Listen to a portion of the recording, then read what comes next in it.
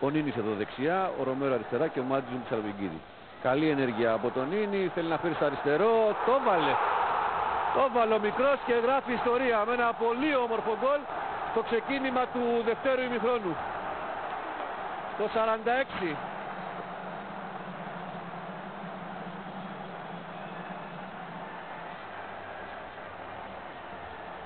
Με ένα πολύ όμορφο γκολ.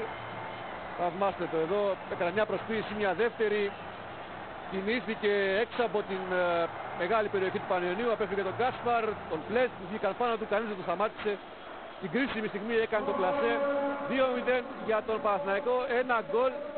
Μια ολόκληρη ιστορία. Σπάει το ρεκόρ του Θωμά Μαύρου.